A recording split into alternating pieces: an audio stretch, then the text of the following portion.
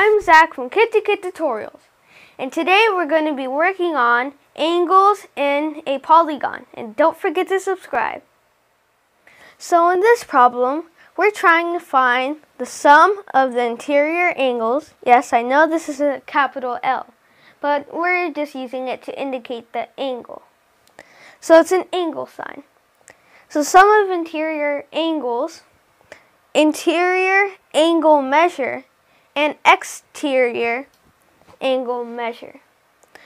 We're trying to find those of a pentagon, hexagon, heptagon, octagon, nonagon, decagon, dodecagon, pentadecagon, icosagon, and tricontagon. So, we have a formula to find all of these. So, the sum of the interior angles is just 180 times n minus 2.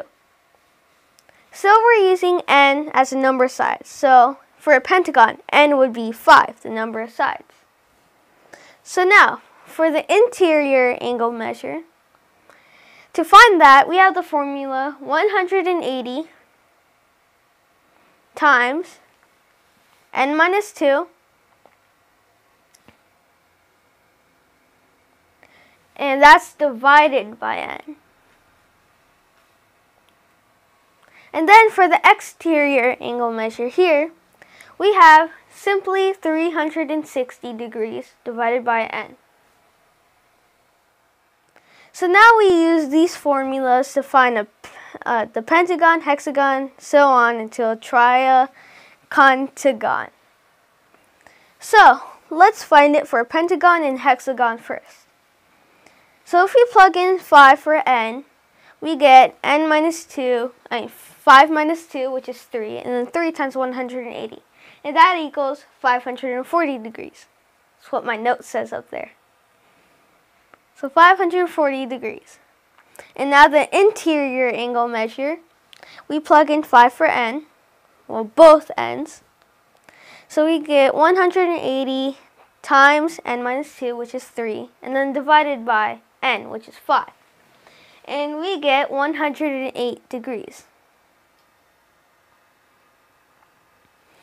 So now to find the exterior angle measure, we just do 360 divided by 5, which is n.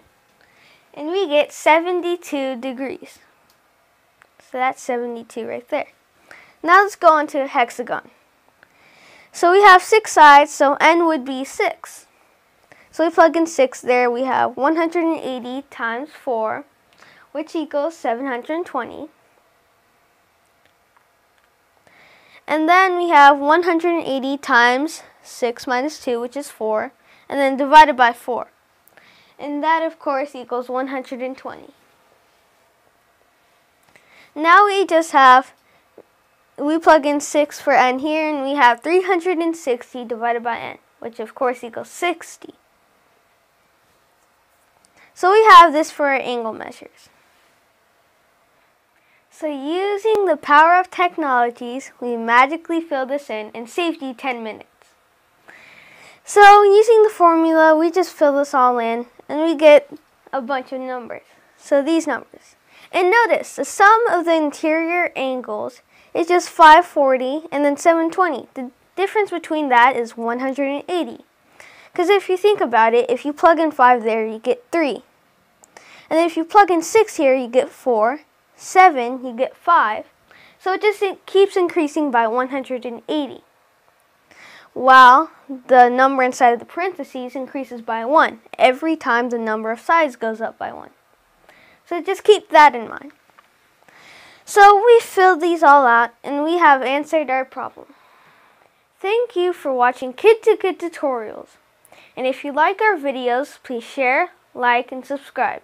Thank you.